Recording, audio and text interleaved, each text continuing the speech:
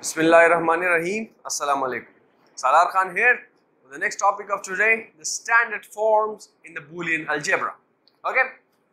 Standard or this is also called canonical forms. Standard or canonical forms.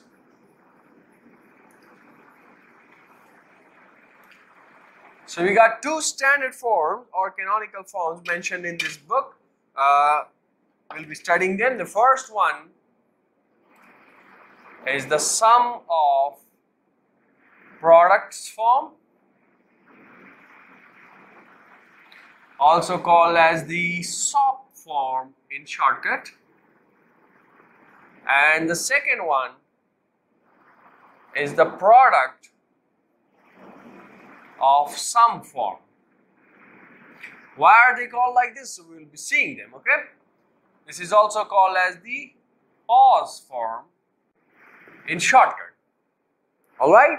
The SOP form and the POS form are the two standard forms in Boolean algebra. Alright, so let me take the colors. The SOP form, discussing the, the SOP form first. The first, So,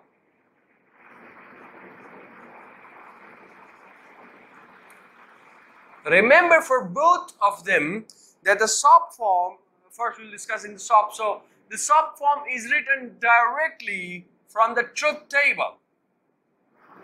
They are written directly from the truth table.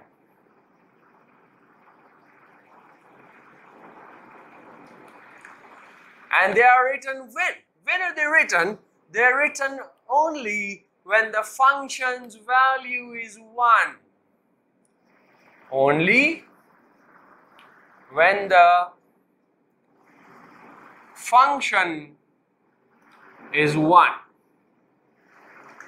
Okay? And what is the method of writing them? The method. So it's a simple method. You go for the truth table, you find out where it is 1, you just write those bits, uh, write those bits in an ANDed form. But how in an ANDed form?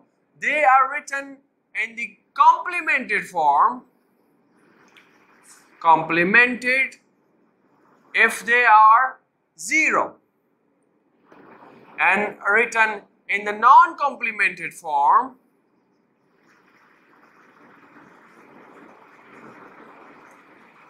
if they are 1.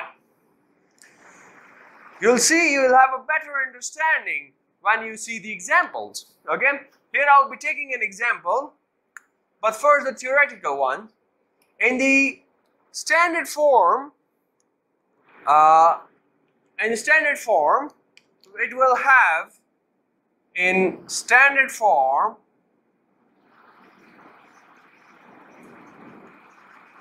we have all the variables either in complemented or non-complemented form.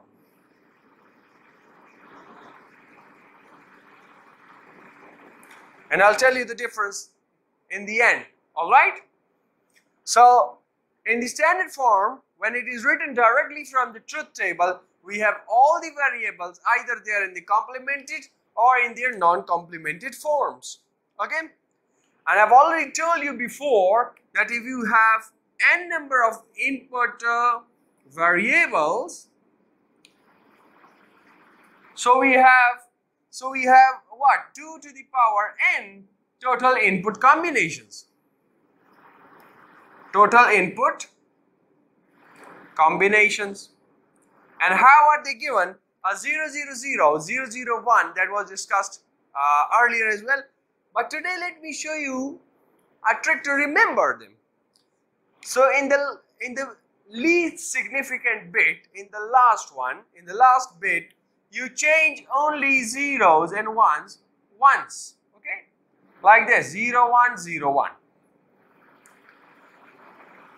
in the second one in the second row you change twos 0 0 then you change it a 1 1 okay then if you have a third row so let me write over here if you have a third column mean if you have a three variable three variables so it means 2 to the power 3 is 8 so then you do what?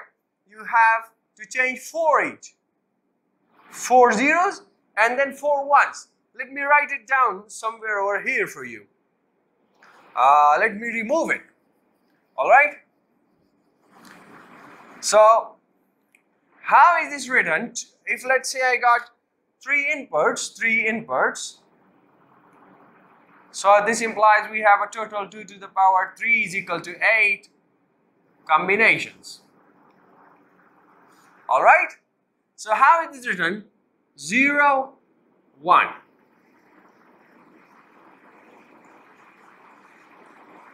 By changing them directly after one another. In the second row, you change two of them. 0, 0, 1, 1. 0, 0, 1, 1. All right? And then in the third, you change four of them. One, two, three, four. So this is the way for three. If you have the fourth column, you change after eight. All right? If you have a five variables, you change after 16 and you go on like that. All right.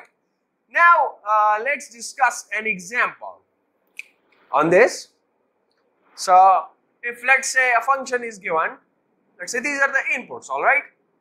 I've, I've written them already, so let these be the inputs. Let me remove this and have a look. If these are the inputs, let's say this, I, I write it down over here. If this is, let's say, A, this is B, this is C. So we have three variables, A, B, and C. And over here, we have the function's value for these three variables. So let's say we have some values for it. 0, 0, 1, 0, 1, 1, 1, and 1. Alright? Now, the decimal equivalent, the, the decimal equivalent for 000 is 0, which means this is the term 0. Let me write it down with the red color, the decimal, the green color, decimal.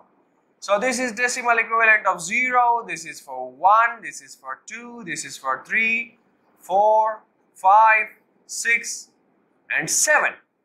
So we have it up to 7. How did I write those? I'll be showing you when we are discussing the number systems. We'll be showing how to convert from binary into decimal. All right? Now I told you that we write the sum of product form only for those where the function's value is 1. So the function's value is 1 over here, over here, here, here, and here.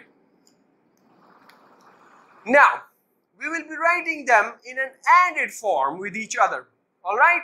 And we'll be writing what I, as I told you if it is a 1 so we'll be taking it as it is and if it is a 0 so we have to complement that. So the function's value is 1 at min term number 2 now what is this min term? I said a term min term. Min term is the ANDed term written. Alright as I will show you. So this this first one, this is M naught, M1, M2, M3, M4, M5, M6, and M7. So min term is represented by a small m. And how many min terms do we have? We have 2 to the power n minus 1 min terms if we have n is the number of variables. So how to write this function's value in a, as, a, as a min term. So we see this, f is equal to the min term m2 is high, m4, m5, m6, and m7. M2 plus M4 plus M5 plus M6 plus M7. These small m's represent the min term, these 2, 4, 5, these represent the decimal equivalents. This plus is for the OR operation. So now, what is this M2? I told you. Now this A is low, so I will be taking A complement. B is high, so B is as it is, and C is low again, so C complement. Similarly over here, the plus is as it is, A is high, B is low and C is low. Okay? Over here, A is high, B is low, and C is high. A, B are high, and C is low. And then all of them are high. This is the value of this function written. Now this form, this is called the sum of product form. Why is this called the sum of product form? Because have a look, we are summing, we are summing the values who are producted with each other. Now look, this is a product, this is a product, this is a product, product and product and they are all summed with each other which makes it a sum of product form. Now this is the standard form. As I told you, this is the standard or the canonical form. Now we reduce this form by the rules of Boolean algebra. We reduce this logic expression. All right? So, have a look. Blue color over here. Let me write the first one as it is. F is equal to A complement B C complement. Then we have what? A B complement is common these two. So I write common A B complement and what happens? C plus C complement remains. In the next we have A B common and what happens again is C plus C complement remains again. So we've already seen that A plus A complement by the rules of Boolean algebra is 1 which makes this a 1 which makes this a 1. And then we've seen that anything ANDed with 1 is again the same thing. A ANDed with 1 is again A. And similarly a plus a complement is 1 these were the rules. So I write them down. Uh, the value of the function is a complement b c complement. From here we have a. B complement. From here we have a b. Now from here we have a common. So this function is a complement b c complement plus a is common so we have B plus B complement again. And have a look. B plus B complement. This would be again 1 and this again and A again and ANDed with 1 will be again A.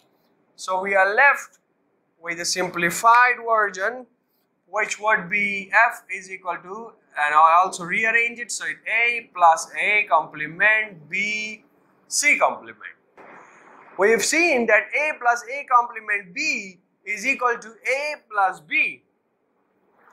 Yes, we've seen from the rules that A plus A complement B is equal to A plus B. Alright, so here we have A plus A complement and then the B is this, B into C complement. So we can write the final expression as F is equal to A plus B times C complement. This is the simplified version of this function. This is the simplified version of the standard canonical form and also called as the minimal SOP form. Minimal SOP form. Why it is called the minimal? Because this is the minimized form. Okay. In the minimal form, each min term, each min term does not necessarily have all the variables as we can see from here. So that was, I, I told you that I'll be telling you in the end and let me write it down over here that, uh, where should I write it? Okay, I will rub this. So the minimal SOP form, the min terms in minimal SOP form does not have all the variables as we can see from here okay okay. So I believe this is all for the SOP form. I've told you that the SOP form is written from the truth table. I've told you that the SOP form is written directly from the truth table and is written only when the function's value is high. And if the if the variable is 1 we write it as it is unprimed.